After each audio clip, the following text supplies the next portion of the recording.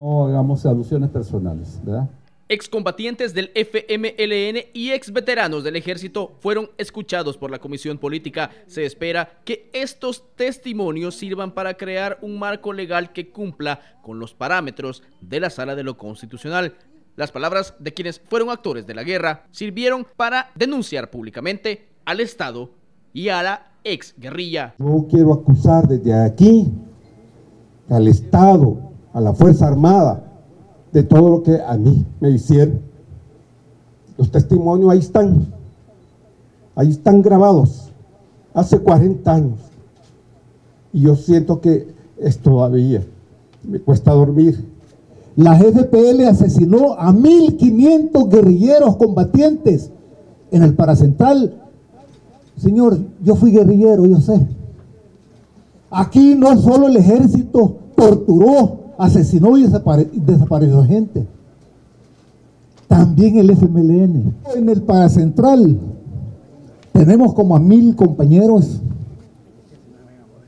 que los queremos sacar de las fosas comunes que la FPL hizo. Bien. Aparte de como 150 gente, si vos bien lo sabés, que fueron asesinados y torturados en Managua el FMLN hizo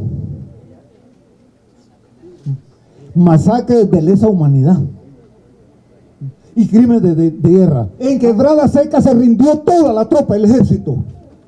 Y a todita la tropa, después que se rindieron, entregaron las armas, a toditos los mataron.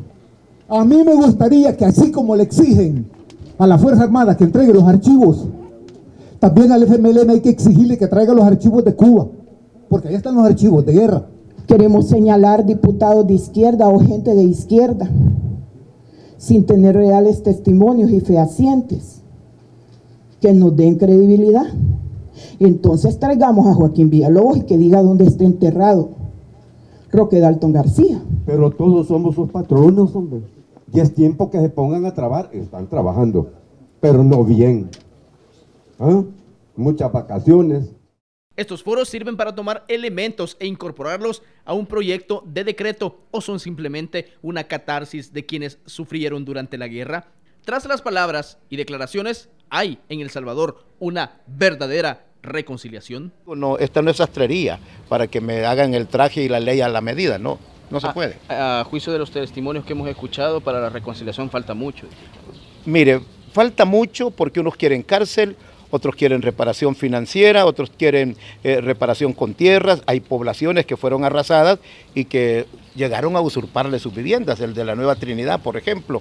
Es decir, hay tantas cosas. Creo que la reconciliación puede llegar si los dos bandos, los dos responsables, o piden perdón o como muchos quieren, vayan a la cárcel. Las consultas se están realizando a pocos días que se cumpla la fecha fatal que dio la Sala de lo Constitucional. Los diputados solo tienen este mes para aprobar una ley de reconciliación nacional. Con imágenes de Roberto Martínez, Inmar Batres, Noticiero Hechos.